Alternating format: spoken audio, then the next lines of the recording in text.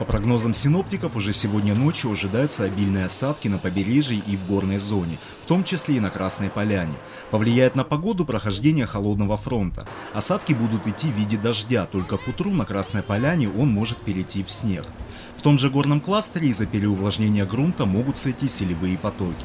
В Сочи ожидается прохождение холодного фронта и связанные с ним осадки. Причем осадки будут идти достаточно интенсивные. В течение всей ночи мы ожидаем э, большое количество выпадения осадков э, категории НЯ, но тем не менее значительное количество осадков, причем по всей территории практически города Сочи.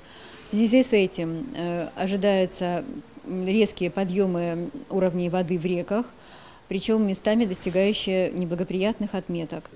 На селекторном совещании присутствовали главы всех районов Сочи, представители муниципальных управлений и городских служб.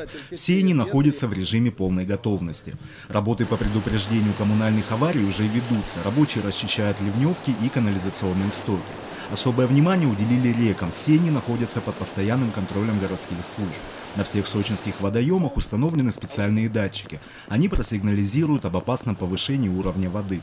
Работы ведутся и в руслах рек Кепша и Западный Дагомыс, которые известны своим капризным характером. Техника у нас есть, возможности у нас есть.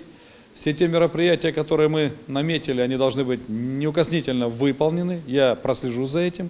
Поэтому беспокойства у нас не должно быть но при условии том, что все выполнят все решения КЧС.